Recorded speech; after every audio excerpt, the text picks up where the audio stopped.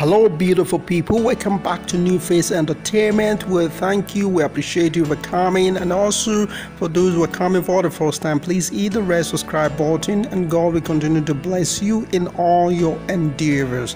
Thank you. Ìka ilé rí wo, àtàpàkò sí ọwọ́ di làgbà o. Ọ̀sán já Omi ojú ojú ń ń ṣàn.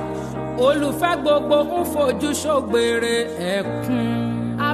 Orí kékeré já lórí. A ò fẹ́ kó la o. Ìbídùn. A ò fẹ́ kó la.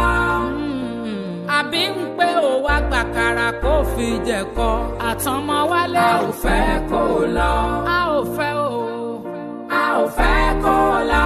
Àwa ò fẹ́. A ò fẹ́ kó lọ.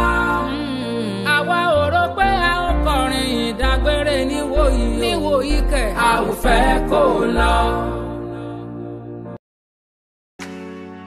Here are the many things you need to know about Ibidun Ighodalo, the wife of Nigerian pastor Ituah Ighodalo and former beauty queen, died June 14 at the age of 39, the Daily Post reported. She died from a heart attack in the early morning in a hotel in Port Harcourt, according to Pulse.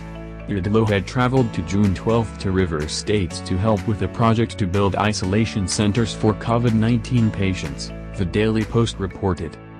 Her death has shocked and saddened many in Nigeria. She was also the founder of Ibidun Ighodalo Foundation, a non-profit organization created to raise awareness on issues about infertility. The foundation also provides grants for couples that require fertility treatments such as in vitro fertilization, IVF, and intrauterine insemination. It was her struggle with infertility that led her to start the foundation.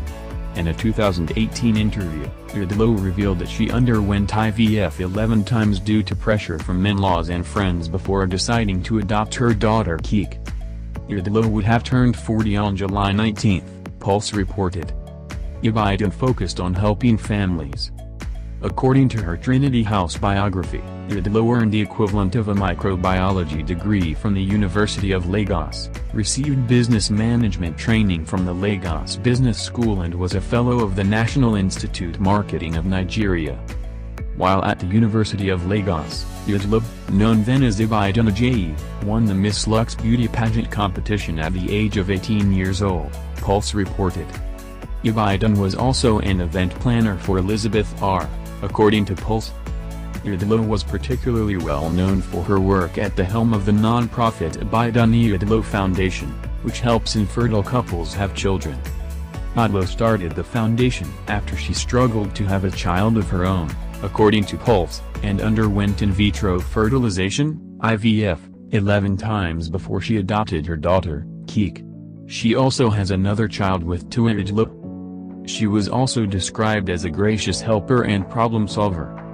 Her marriage to Pastor Ighodalo a few years ago sparked outrage at her hubby's former church, the Redeemed Christian Church of God, RCCG, which led to his expulsion from the fold. Ibidun is the handsome pastor's second wife, after Ighodalo divorced his first wife about seven years earlier. He was being fired. After that, he started Trinity House with Ibidun by his side. According to the Daily Post, he received the news that his wife was dead at 2 a.m. The news, he said, shattered his entire life.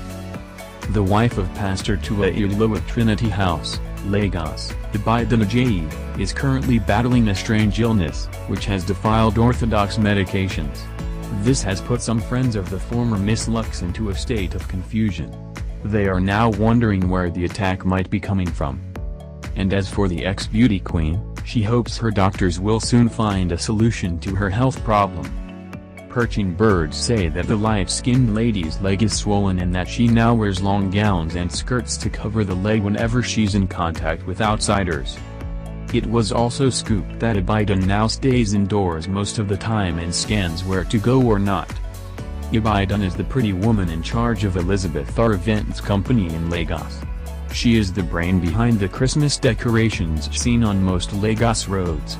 She grabbed a contract from the state government few years ago. May her gentle soul rest in perfect peace.